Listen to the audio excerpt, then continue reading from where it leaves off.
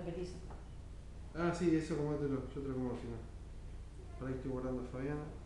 Eh, ponete si podés el libro eh, entre el micrófono y vos, entonces te queda bien.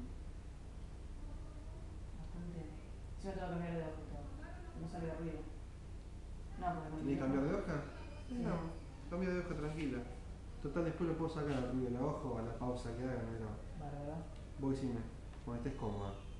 ¿Te queda cómodo ahí? Si no, ponelo. Sí, cortito, es la autoridad de Galeano, el cortito. Bueno, ¿lista? Ya. No, yo te digo, pará. Dale. La autoridad, Eduardo Galeano. En épocas remotas, las mujeres se sentaban en la proa de la canoa y los hombres en la popa. Eran las mujeres quienes cazaban y pescaban.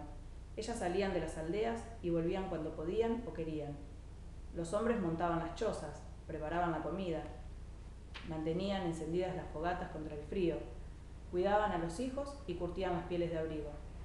Así era la vida entre los indios Onas y los Yaganes, en la Tierra del Fuego, hasta que un día los hombres mataron a todas las mujeres y se pusieron las máscaras que las mujeres habían inventado para darles terror.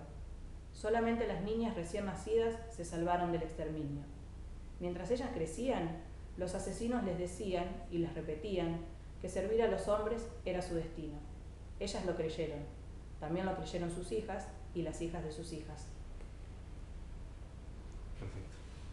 Fin. De lujo. Está muy buena esa. Bien, bien, muy bueno. ¿Lo conocías?